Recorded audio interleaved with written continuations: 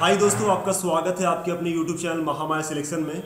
तो फ्रेंड्स, आज हम लोग डिस्कस करने वाले आरबीआई ऑफ़िस अटेंडेंट के जीए के स्ट्रैटेजी को, कैसे आप अच्छे मार्क्स ला सकते हैं, क्या जीए में पढ़ना है और कैसे स्ट्रैटेजी रखें कि आपके अच्छे मार्क्स आए, ठीक है? तो इस वीडियो को आप शुरू से अंत तक देखिए, मैं आपको बताऊँगा कि क्या चीज़ क्या चीज़ आपको पढ़ना होगा, किस चीज़ पर ज़्यादा फोकस करना होगी अच्छे मार्क्स आपके आ पाएँ और किस सेक्शन में कितने मार्क्स आपके पूछे जाते हैं। टोटल को डिटेल में डिस्कस हम लोग करेंगे। सबसे पहले जो भी हमारे चैनल पर नए हैं और आरबीआई ऑफ़िस अटेंडेंट की तैयारी कर रहे हैं ना तो ज़रूर इस चैनल को सब्सक्राइब कर लीजिए और लाइक बटन दबा दीजिए। ठीक है? और क्या करना है फ्रेंड्स? तो आपको सवा तीन बजे हमारे साथ लाइव जुड़ना है, जिसमें आपके मैथ रीजनिंग और इंग्लिश को कवर किया जाता है। देखिए, सेक्शन जो होगा ना आपका, रीजनिंग का एग्ज़ाम रीजनिंग सेक्शन आते हैं, जनरल इंग्लिश, जनरल अवेयरनेस और न्यूमेरिकल एबिलिटी के क्वेश्चन पूछे जाते हैं। तीस क्वेश्चन, तीस मार्क्स के सभी सेक्शन में पूछे जाते हैं। कुल इसके लिए आपको 90 मिनट दिया जाता है करीबन डेढ़ घंटा दिया जाता है और टोटल क्वेश्चन 120 क्वेश्चन 120 मार्क्स के होते हैं, ठीक है? जनरल अवेयरनेस का अगर बात करें ना फ्रेंड्स तो देखिए करेंट अफेयर से क्वेश्चंस रहते हैं, बहुत इंपॉर्टेंट रोल है। स्टैटिक अवेयरनेस के और बैंकिंग अवेयरनेस के भी क्वेश्चंस रहते हैं। और भी अगर बात किया जाए तो देखिए करेंट अफेयर्स तो रहता ही है करेंट अफेयर्स ऑथर्स आपको पढ़ने रहेंगे कौन कौन से बुक्स एंड ऑथर्स हैं। हिस्ट्री भी आपको फोकस करना होगा, प्राचीन भारत एंशियंट भारत और आपका मॉडर्न जो भारत है ना, उस पर पढ़ना होगा। मॉडर्न हिस्ट्री जिसे कहते हैं, उस पर पढ़ना होगा आधुनिक भारत पे। ज्योग्राफी भी आपको पढ़ना होगा सिलेबस में। जनरल साइंस से क्वेश्चंस भी आएँगे। बजट अगर बात करें बजट से भी रिलेटेड क्वेश्चंस पूछेगा, क्योंकि आपको पता है आरबीआई है। Indian economy awards international national organisation abbreviations environment general knowledge और आपके बुक्स आएँगे।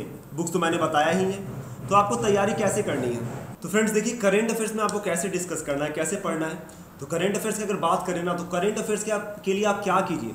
न्यूज़ अपडेट्स को देखिए जो कि बैंकिंग से रिगार्डिंग है फाइनेंशियल है या जनरल हैपनिंग से रिगार्डिंग जो न्यूज़ है ना उसे ज़रूर देखिए। करेंट अफेयर्स को देखिए चार से पाँच मंथ बहुत सारे लोग पूछ रहे थे सर कितने मंथ का पढ़ना है? तो सबसे पहले आप चार से पाँच मंथ के करेंट अफेयर्स को देखिए। मान लीजिए अप्रैल में आपका एग्ज़ाम हो रहा है ठीक है अप्रैल में ही होगा अगर एग्ज़ाम हो रहा है तो पिछले चार से पाँच महीने के आपको करंट अफेयर्स को देख लेना जो कि सफिशियंट है एग्ज़ाम अगर हो सके तो डेली न्यूज़पेपर को ज़रूर देखिए करंट अफेयर्स के लिए। स्टैटिक अवेयरनेस का बात करें ना तो इंपॉर्टेंट डेट्स एंड डेज़ है। हम लोग वीडियोस इस पर बनाएँगे।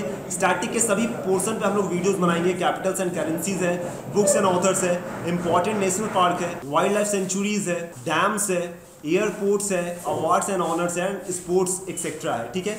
इस पर वीडियोज़ बनेंगे, इसे भी आप देख सकते हैं, पढ़ सकते हैं और अच्छे नंबर आपके आएँगे।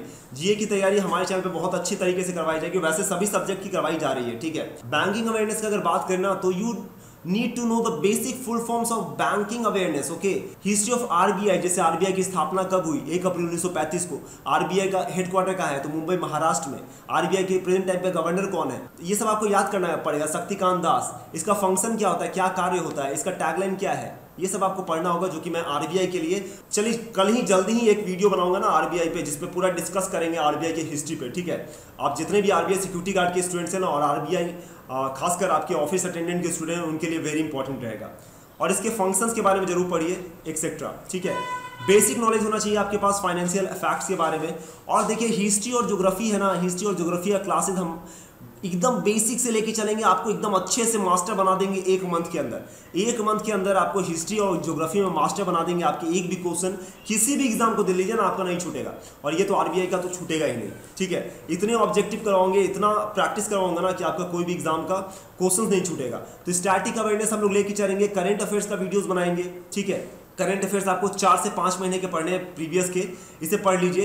एब्रिविएशन जितने भी आते हैं आरबीआई की जितने भी टर्म्स है, सबको हम लोग डिस्कस करेंगे।